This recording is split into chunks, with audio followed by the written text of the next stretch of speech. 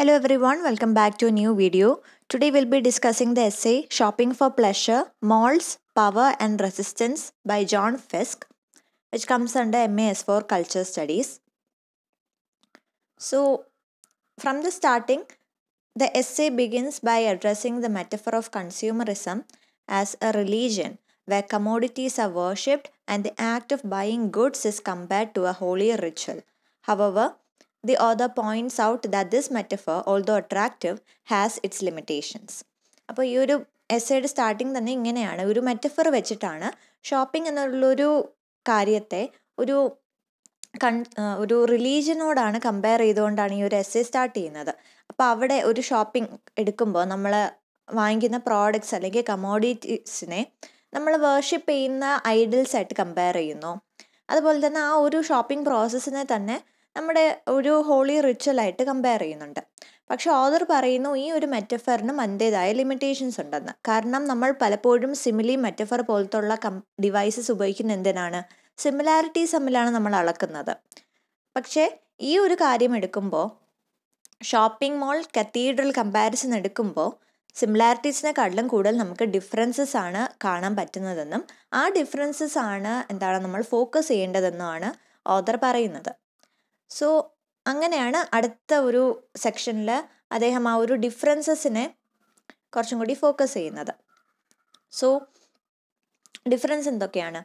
ഒരു religious congregation എടുക്കുന്ന സമയത്ത് അവിടുത്തെ വേർഷിപ്പേഴ്സ് എല്ലാം തന്നെ പവർലെസ് ആണ്. അവർക്ക് എന്താണ് ഒരു പാസീവ് ആയിട്ടാണ് അവരെ കണക്കാക്കുന്നത്. അവരോട് എന്താണോ പറയുന്നത്? റൂൾസ് ആയിട്ടും റെഗുലേഷൻസ് ആയിട്ടും അതന്നെയാണ് അവർ ഫോളോ ചെയ്യുന്നത്. മാത്രമല്ല അവർക്ക് ക്വസ്റ്റ്യൻ ചെയ്യാനുള്ളൊരു ഒരു അത്ര ഒരു സ്പേസ് കിട്ടുന്നില്ല. അപ്പോൾ എന്താണോ അവർക്ക് പ്രസന്റ് ചെയ്യുന്നത് അവരുടെ മുന്നിൽ സത്യം എന്ന രീതിയിൽ പ്രസന്റ് ചെയ്യുന്നത് അത് അക്സെപ്റ്റ് ചെയ്യുക എന്നതാണ് എന്താണ് അവർക്ക് അവരുടെ ഒരു ജോലി എന്ന് പറയുന്നത്.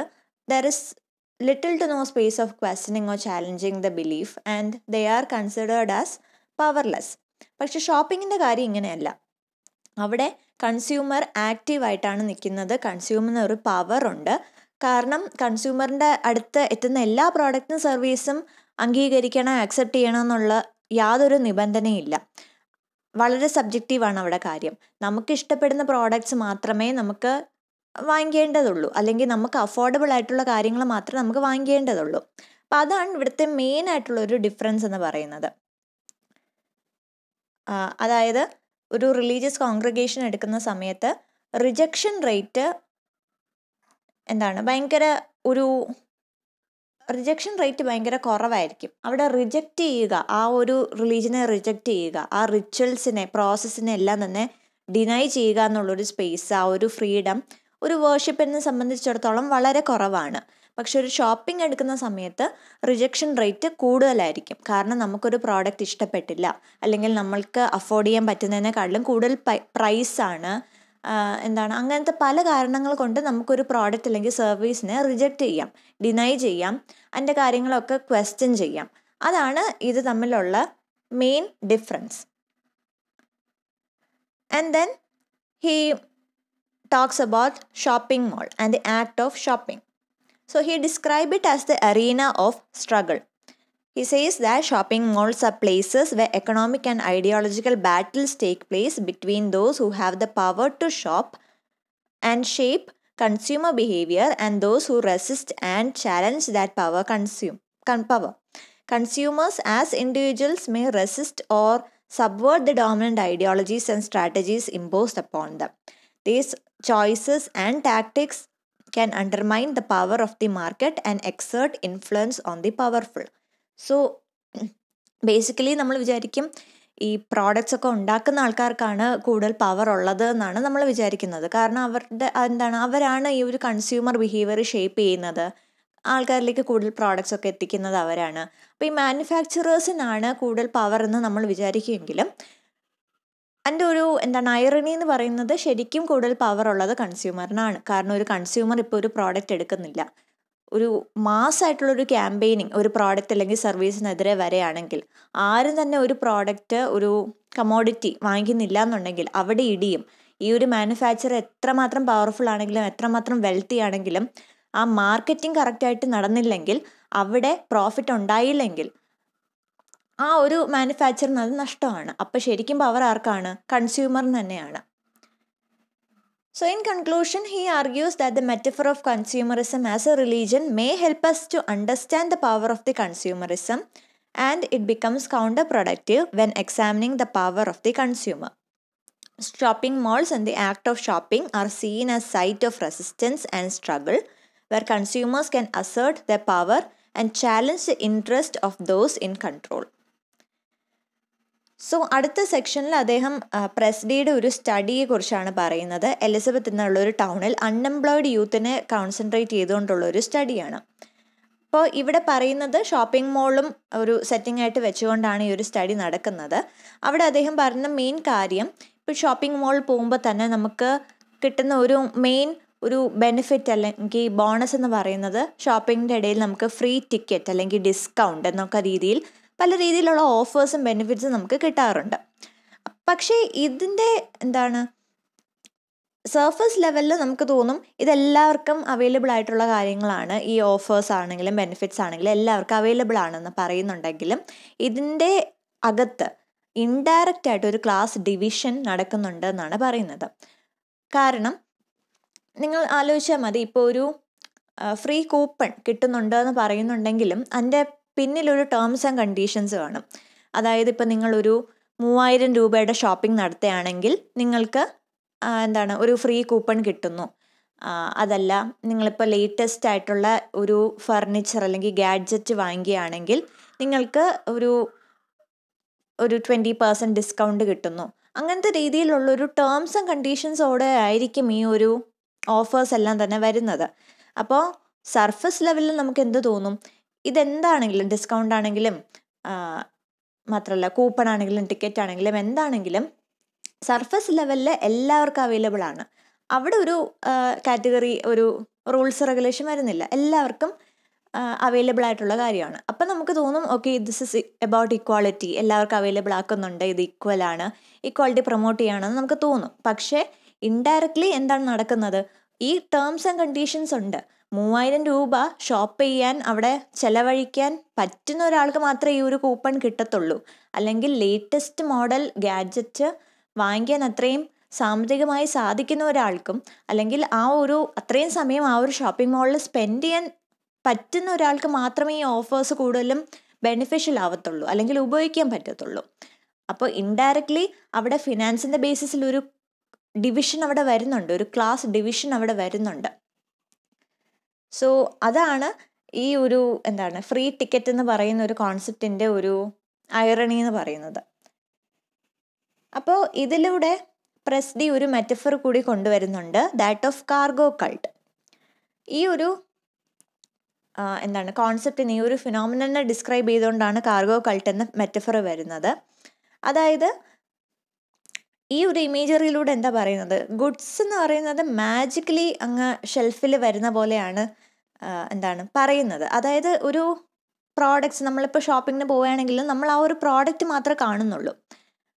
അതിന്റെ പിന്നിലെ കാര്യങ്ങൾ നമ്മൾ കൂടുതൽ ആലോചിക്കുന്നില്ല. ഇതെങ്ങനെയാണ് പ്രൊഡ്യൂസ് ചെയ്തത്? ഇതെങ്ങനെയാണ് ഇത്രയും സർക്കുലേറ്റ് ആവുന്നത്? മാസ് പ്രൊഡ്യൂസ് ഗുഡ്സ് ആണ്. പലതിലും പല രീതിയിലുള്ള എന്താണ് ന്യൂസ് നമ്മൾ കാണാറുണ്ട്. മായം ചേർത്തതാണെന്നും മറ്റും എന്താണ് കേടുപാടുണ്ടെന്നുള്ള രീതിയിലുള്ള ന്യൂസൊക്കെ നമ്മൾ കാണാറുണ്ട്. പക്ഷെ നമ്മൾ കൂടുതൽ ആലോചിക്കാറില്ല. ഒരു പ്രോഡക്റ്റ് എടുക്കുന്ന സമയത്ത് ഇതെങ്ങനെയാണ് പ്രൊഡ്യൂസ് ആയത് ഇതെങ്ങനെയാണ് ഇത്രയും മാസ് പ്രൊഡക്ഷൻ നടക്കുന്നത് എന്നൊന്നും തന്നെ നമ്മൾ പലപ്പോഴും ചിന്തിക്കാറില്ല. നമ്മുടെ ആ ഒരു സമയത്ത് ആവശ്യത്തിന് നമ്മുടെ കയ്യിൽ സാധനം കിട്ടി. ദാറ്റ്സ് ഇറ്റ് അതാണ് ഈ ഒരു മെറ്റഫർ കൊണ്ട് ഉദ്ദേശിക്കുന്നത്.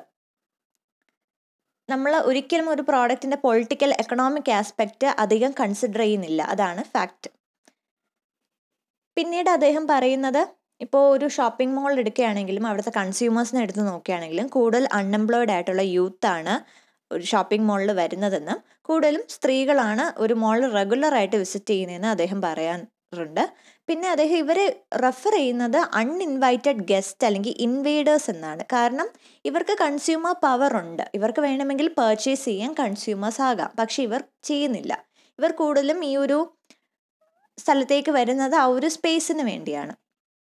ആ ഒരു പ്രസൻസ് അസേർട്ട് ചെയ്യാൻ വേണ്ടി മാത്രമാണ്. പിന്നെ ഈ ഒരു സ്റ്റഡി ഫോക്കസ് ചെയ്യുന്നത് തേഴ്സ്ഡേ നൈറ്റിലാണ് ഏറ്റവും കൂടുതൽ എന്താണ് ഒരു ക്രൗഡ് വരുന്നതെന്നും ഏറ്റവും കൂടുതൽ ആൾക്കാരെ മോൾസിൽ കാണാൻ പറ്റുന്നതെന്നും കൂടിയുള്ളൊരു കാര്യം പറഞ്ഞു വെക്കുന്നുണ്ട്.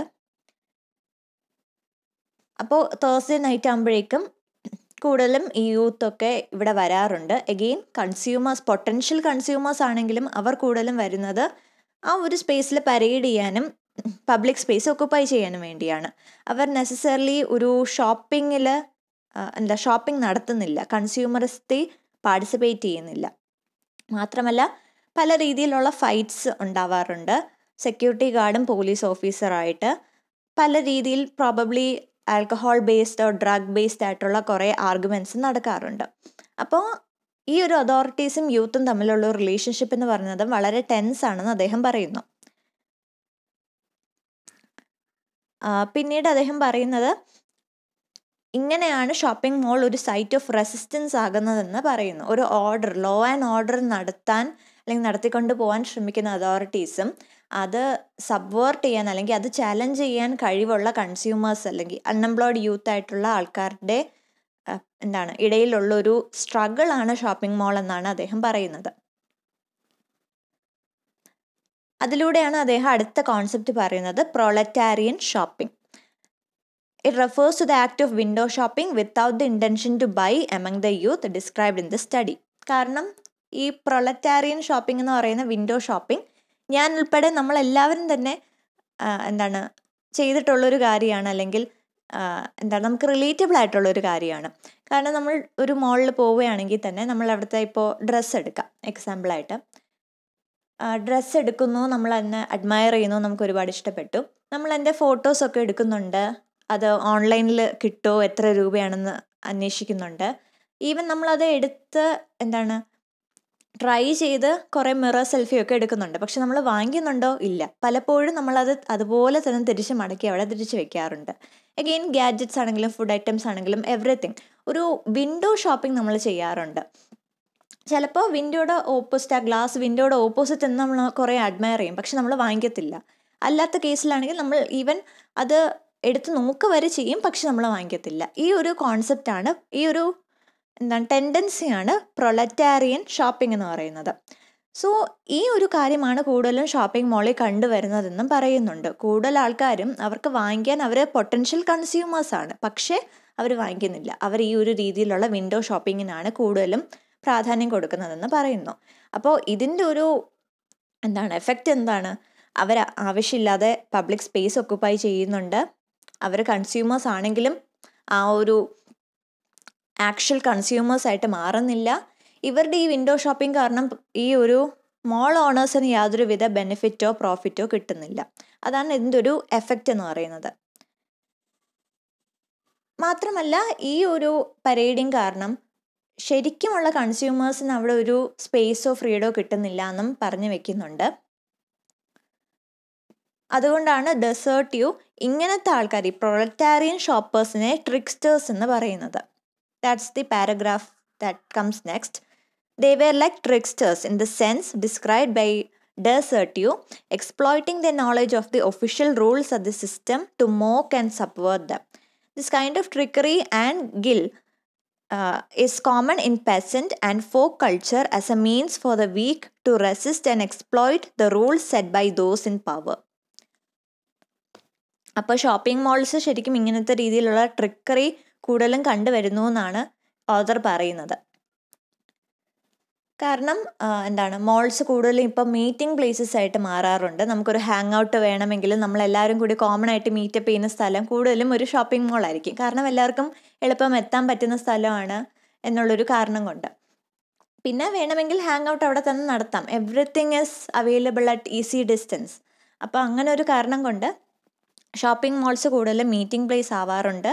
പിന്നെ ഇങ്ങനത്തെ രീതിയിൽ അതോറിറ്റീസ് ആയിട്ടുള്ള പല രീതിയിലുള്ളൊരു ഫൈറ്റ് നടക്കാറുണ്ട്. പക്ഷേ ഇതിന്റെ ഒരു പ്രശ്നം എന്ന് വെച്ചാൽ ഈ അതോറിറ്റീസിന് ഇവരെ ഡിഫറൻഷ്യേറ്റ് ചെയ്യാൻ പറ്റത്തില്ല. ആരാണ് ശരിക്കും എന്താണ് ഇങ്ങനെ ഹാങ് ഔട്ടിന് വേണ്ടി വരുന്നതെന്നും ആരാണ് ശരിക്കും ഷോപ്പിങ്ങിന് വരുന്നതെന്നും ഒരിക്കലും ഡിഫറൻഷ്യേറ്റ് ചെയ്യാൻ പറ്റത്തില്ല. കാരണം ഏതൊരു നിമിഷവും ഒരാൾ ഒരു ട്രിക്സ്റ്ററിൽ നിന്ന് എന്താണ് ഒരു വിൻഡോ ഷോപ്പറിൽ നിന്ന് ആക്ച്വൽ കസ്റ്റമർ ആകാം. വി നെവർ നോ ദാറ്റ് അപ്പോൾ അതുകൊണ്ട് ഡിഫറൻഷ്യേറ്റ് ചെയ്യാൻ പറ്റാത്തത് കൊണ്ട് തന്നെ എന്താണ് കൂടുതലും ഈ ഒരു ടെൻസ് റിലേഷൻഷിപ്പ് അവിടെ ഫോം ചെയ്യുന്നത്. പിന്നെ ഒരു കാര്യം എന്ന് പറയുന്നത് പല ആൾക്കാരും വരുന്നത് വിൻഡോ ഷോപ്പിന് മാത്രമല്ല മോളിന്റെ അകത്ത് ഈ ഒരു കൺട്രോൾഡ് ക്ലൈമറ്റ് മിസ്യൂസ് ചെയ്യാനും വരാറുണ്ട്. Again something that is relatable for us നമുക്കിവിടെ നല്ലൊരു ഹീറ്റ് വേവ് ഉണ്ടായ സമയത്ത് നല്ലൊരു ചൂടുള്ള സമയത്ത് നമ്മൾ മിക്കപ്പോഴും പറയുന്നതോ ചെയ്യുന്നതോ ഒരു കാര്യമായിരിക്കും മോളിലൊക്കെ പോകാമെന്ന് വെറുതെയാണ്. ഷോപ്പിങ്ങിന് വേണ്ടിയല്ല പക്ഷെ മോളിന്റെ ആ ഒരു എന്താണ് എ സി അത് യൂസ് ചെയ്യുക. ആ കൺട്രോൾഡ് ക്ലൈമറ്റ് യൂസ് ചെയ്യുക എന്നും പറഞ്ഞ് അതിനു വേണ്ടി മോൾ വിസിറ്റ് ചെയ്യുന്നവരുണ്ട്. അതുപോലെ തന്നെ തണുപ്പാണെങ്കിൽ തണു പുറത്ത് തണുപ്പാണെങ്കിൽ എഗെയിൻ ഒരു കൺട്രോൾഡ് ക്ലൈമറ്റിന് വേണ്ടി മോൾ വിസിറ്റ് ചെയ്യുന്ന ആൾക്കാരുണ്ട്. സോ അവരും ഒരു രീതിയിൽ എന്താണ് ട്രിക്സ്റ്റേഴ്സ് ആവുകയാണ്. അതിന്റെ ഒരു എക്സാമ്പിൾസ് ആണ് ഇത് കൊടുത്തിട്ടുള്ളത്. Mothers bringing children to play in the air conditioned environment during hot summers or old individuals using the malls concourses for daily walks in winter so എന്റെ പ്രശ്നം ഇതന്നെയാണ്. മോൾ ഓണേഴ്സിന് ആരൊക്കെയാണ് ഇങ്ങനത്തെ രീതിയിലുള്ള ട്രിക്സ്റ്റേഴ്സ് ആരൊക്കെയാണ് ശരിക്കും കൺസ്യൂമേഴ്സ് എന്ന് ഡിഫറൻഷ്യേറ്റ് ചെയ്യാൻ പറ്റത്തില്ല. കാരണം ഏത് നിമിഷം വേണമെങ്കിലും ഈ ട്രിക്സ്റ്റേഴ്സ് ആക്ച്വൽ കൺ കൺസ്യൂമേഴ്സ് ആയിട്ട് കൺവേർട്ടഡ് ആകാം. പക്ഷെ അവിടെ പോലും മോൾ ഓണേഴ്സിന് അറിയാൻ പറ്റത്തില്ല. ഒരാൾ ഇത്രമാത്രം പർച്ചേസ് ചെയ്യുന്നു. എന്തൊക്കെയാണ് വാങ്ങിക്കുന്നത്? എത്ര സമയമാണ് വാങ്ങിക്കുന്നത്? എത്ര പ്രോഫിറ്റബിൾ ആയിട്ടുള്ള പ്രോഡക്റ്റ് ആണ് വാങ്ങിക്കുന്നതെന്നൊന്നും തന്നെ പറയാൻ പറ്റത്തില്ല. But the main thing is that അവിടെ ഒരു മോൾ വിസിറ്റ് ചെയ്യുന്ന എല്ലാ ആളും ഒരു പൊട്ടൻഷ്യൽ കസ്റ്റമർ ആണ്. So he says that shopping malls are therefore vulnerable to the tactical raid of the weak and women in particular are portrayed as adept guerrillas in the consumer battleground. In summary, the passage highlight how youth engage in a proletarian shopping which involves window shopping for pleasure and asserting their presence in the shopping mall without the intention to buy. They play with images and exploit the rules of the system to challenge the powerful. Shopping malls become spaces where the strategies of the powerful are most vulnerable to the tactics of the weak, with women being particularly skilled in this form of resistance. So, I hope this explanation was useful and understandable.